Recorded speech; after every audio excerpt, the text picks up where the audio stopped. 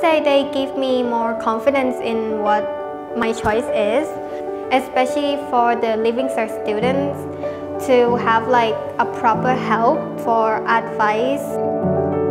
EirGrid's primary goal is to lead the island's electricity sector on sustainability and decarbonisation. We do a lot around climate action, around integrating renewables and decarbonisation of the power system, but sustainability is a much broader aspect.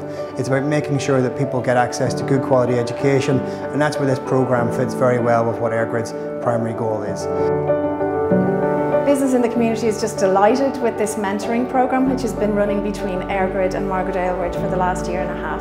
It's the first time that business in the community, in the 20 years that we've been running mentoring programmes, that we've managed to get one off the ground with just graduates. It's really given the girls an opportunity to find out more about what they might like to do in the future. It's been great for the volunteers as well.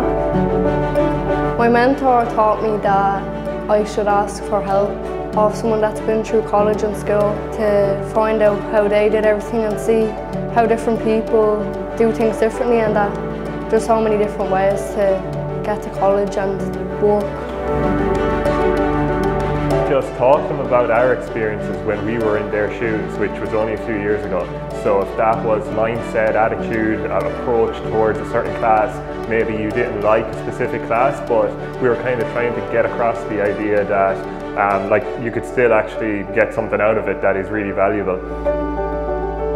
Each time when we met, it was very nice time. We have fun. We don't just chat about like things in the school, but we chat things outside the school and have a lot of like fun conversations.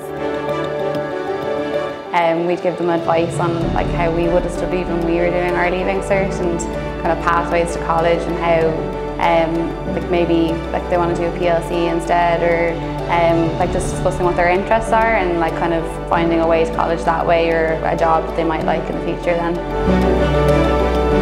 They're people that are close to them in age so they see them as kind of closer to them than say us as teachers sometimes so they relate to them a bit better so they were able to talk to them about real life experiences, how they went through school, how they went through college, what path they took after school and how they got to the job they are now.